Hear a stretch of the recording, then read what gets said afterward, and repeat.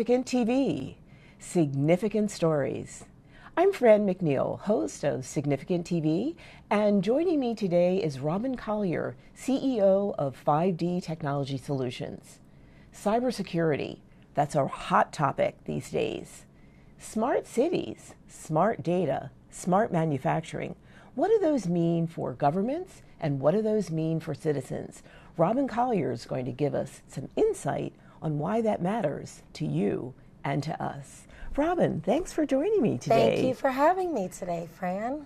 Now, you commute between multiple cities. You're in Philadelphia, yes. you're in DC, you're a mom, you're a CEO. yes. Um, tell us, how does that all work? Well, I refer to it as my personal circus, oh. um, and hence it's a juggling act. Mm-hmm. Um, as you know, I'm the owner and president of 5D Technology Solutions. We started this company about two years ago, mm-hmm. and I'm a mother and a wife and a daughter and a friend. And so I just do my best to try and give everything uh, my all. I try to be mindful and be in the moment, uh, focus on what my task is at hand and then once I successfully complete that, move on to the next. That sounds great. Well, you know, technology is in our lives in so many ways. And unfortunately, technology can have sort of a dark side. Yes. And hence, cybersecurity is so important in so many ways. Yes. Share with us how your company, 5D Technology Solutions, makes a difference. Sure. So, my firm has three main areas of focus um, in business sectors. The first is smart city development and adoption across the globe. The second is the adoption of smart manufacturing. And then the third is the provision of cyber security for local and uh, public municipalities and state and private enterprises. We provide end to end solutions um, from the actual project design, strategy, architectural mapping, and all the way through uh, for execution as well. And so we really like to provide a customized experience in which we really walk hand in hand with our clients, understanding what their critical business initiatives are, their milestones, and most importantly, helping them to overcome their challenges, all while doing so in a smart, technology enabled um, arena. Okay. Well, you mentioned earlier your personal circus. Yes the activities that you're involved in sounds like juggling. And as a matter of fact, project management is really useful because there's so many moving parts. Absolutely. And um, it helps vendors, it helps clients kind of keep on top of things. Yes. Let's start with that first topic smart cities. Sure. Um, what are they? Are they all over the United States? Yes. Are they international? And just topping off the multitude of questions, why do they matter? Why, why don't you start there? Sure. Why do smart cities matter? Sure, sure. So smart cities, if you would, let me let me actually back up just a little bit.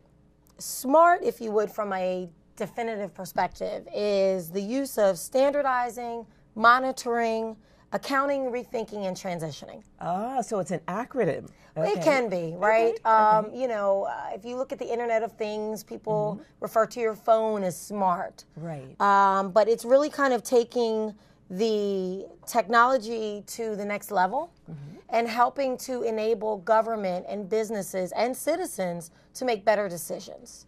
Mm-hmm. So mm. if you were to almost create a circle or a diamond where you would have smart government, smart mobility, smart homes, smart buildings, smart technology, smart healthcare, um, and then smart citizens.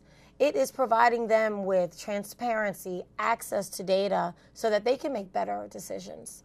Wow, okay. So, on a um, sort of tactical, practical level, yes. As a mom, let's say it's 2025 what yes. would that look like for sure, you? Sure, So 2025, maybe I'm on the, the second half of my lifespan. Mm-hmm. My lifespan. Uh, maybe I'm taking some uh, some medication, mm-hmm. right, on a mm-hmm. regular basis. Mm-hmm. Whatever the reason is, I'm keeping my ticker going. I'm keeping my weight down. Who knows? Mm-hmm. Uh, and I need to be reminded that it's time for me to take my medication. Mm-hmm. Well, unlike now, where traditionally we have something physical that says Monday, Tuesday through Sunday, mm-hmm. Now I might be able to use my phone and it alerts me and beeps and says Robynn and actually talks to me. Robynn, it's time to take your medicine. It's 10 a.m. Wow. Um, or Robynn, uh, you are running late and you need to leave now to go pick up your son. That's a perfect example of actually being able to use smart uh, technology as far as the citizen is concerned. When you expand your conversation and talk about the government, let's just take clean water, for example, or, or at this juncture, across the seas where there, uh, there are populations that do not have clean water. Right, right. Now there are sensors that are in place where it can alert the manufacturers that something is amiss, something is awry, something is broken and needs to be tweaked. And now we are able to improve the output and the process that is used to develop and provide clean energy to um, citizens. Okay. So that would be the component with smart manufacturing. That's right. Okay, That's okay. right. Um, you know, when you think about smart cities, think about the Jetsons. True. Okay. Yes, okay. literally. Where, you know, they went home. As soon as they walked in the door, it said, you know, hello, Mr. and Mrs. Jetson. Right. The robot came and that's a offered. cartoon, right? Yes, the cartoon. offered a a pie because they knew Right.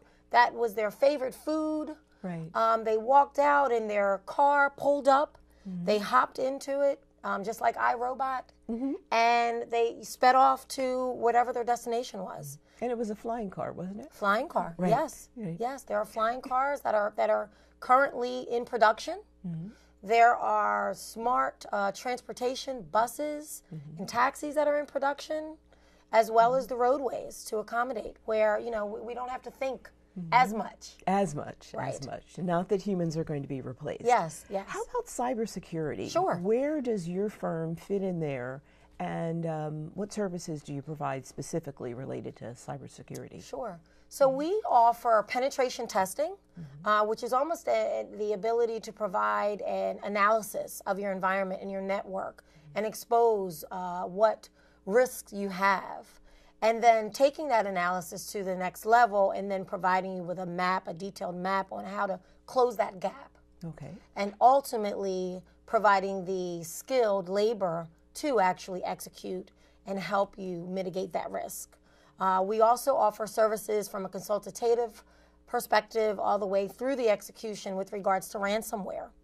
Uh, I don't know how familiar you or your viewers are, um, but if you've ever had your phone or your computer hijacked, where I they demanded money, Where that happened. Yes. yes, it's it's it's petrifying. It's terrifying. Uh, there is a story of a hotel from Europe that was hijacked, and their guests were locked in their rooms oh my goodness. until the uh, until uh, the hijackers received their their fee.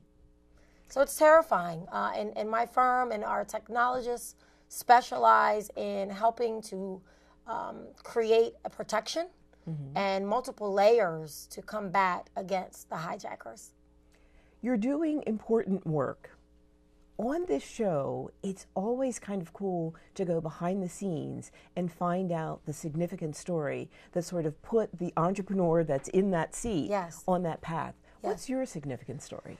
My significant story. Uh, it's a pretty pretty uh, loaded question. Sure, Uh, you know, sure. I you can think- take it wherever you want. Okay, thank Okay. you. Uh, for me, as an African American woman in a male and majority dominated industry, um, technology, it is an opportunity for me to let my light shine, if you would. Uh, you know, for the past 20 years or so, I've always worked in corporate America. I have served in three different industries, beginning my career in finance, transitioning into healthcare um, and pharmaceutical sales and medical equipment, and then now into technology.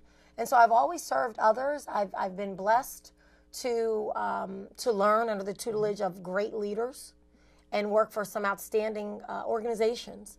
And what I've done is really just culminated all of that information, taken my, uh, my experiences, and completely dedicated all of that into 5D technology solutions.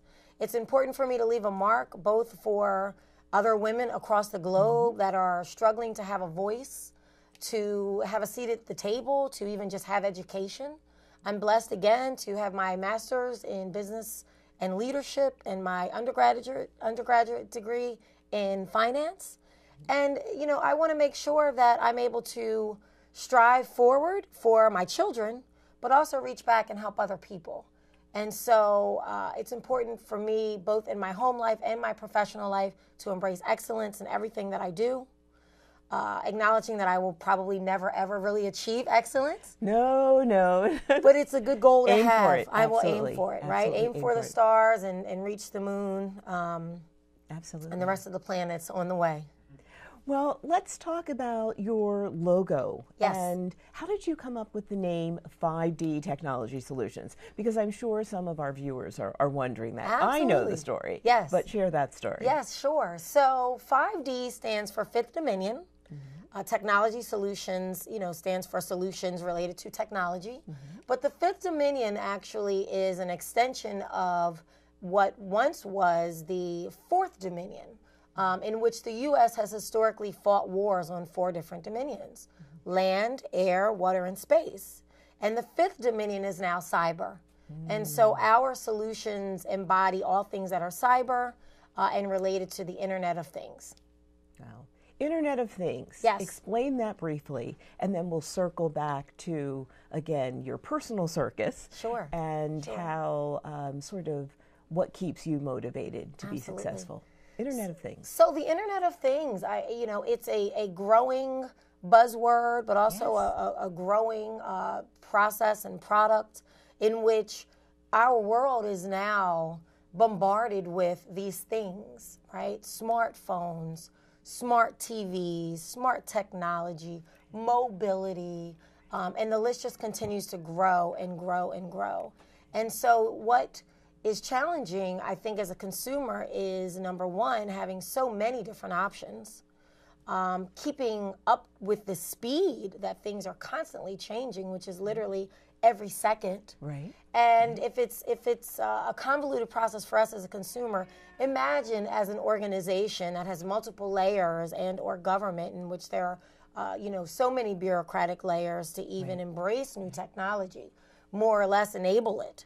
Um, you know, my firm specializes in being that beacon of light in the midst of this storm and confusion to really help guide this, those decisions and help to support the adoption of um, of this technology, as well as partnering with some of you know the most bleeding and cutting edge organizations across the globe. Robynn, again, let's go back. You are a successful woman. And in two years, you've taken your corporate experience and created a firm. Yes. What's a brief lesson learned or tip for other women who are at the cusp of making that decision? Sure. Sort of the one minute version because our 15 minutes is almost up. Okay, wow. sure. I would say listen to your heart, um, listen to your gut, follow your dreams, follow your passion, um, acknowledging that obviously our, our primary role as, as wife and mother certainly don't don't become second to your professional goals. But there there is a way to do it all. You can. Um, and be mindful. That's like kind of a new concept for me, really embracing the law of attraction. I think, you know, taking that time, making that time, creating that time in your, your daily life to have time with yourself will help you elevate your mind, your spirit, and your ultimate outcomes. Wow. I really appreciate that you were able to be here today. I know that later on you'll be in DC and you go back and forth and back and yes. forth. Thank you. And uh, it's been wonderful. It's been my just to connect pleasure. you Thank you so much for having me. This is a fantastic opportunity, and I celebrate you with your success and your achievement with this this uh, this segment. Mm-hmm. And just congratulations, onward and upward to you with much more success. Thank you, Robynn. Thank you. Significant stories. You know, it really is about entrepreneurs expressing themselves in different ways. Robynn Collier, CEO of 5D Technology Solutions, is another example of how African American women can be pioneers and juggle life, liberty, and the pursuit of happiness. Continue to watch us. Significant stories, significant entrepreneurs.